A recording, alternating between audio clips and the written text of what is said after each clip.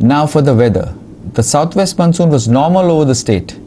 Light to moderate rainfall at most places, with heavy rainfall at isolated places occurred over the state. Moderate to heavy rainfall is very likely at most places on 18 June. Moderate rainfall on 19, 20th, 21st, and 22nd June.